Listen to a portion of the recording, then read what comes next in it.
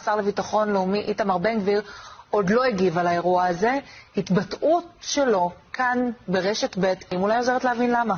קודם כל יש מנהג יהודי קדום, שכשעוברים ליד מנזר או ליד כומר יורקים. אפשר להסכים או לא להסכים, אבל כאשר יורקים לצד, אני לא חושב שזה מבטא... יש גם מנהג יהודי, כל מנהג יהודי קדום אנחנו חייבים לקיים, תגיד. לא, לא, זה לא העניין, זה לא העניין, העניין הוא למה להפוך את זה לעניין פלילי.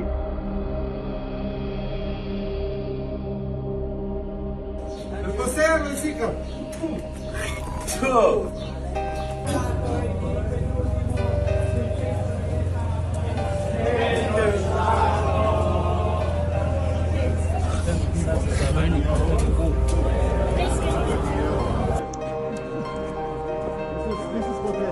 Fucking asshole! fucking asshole!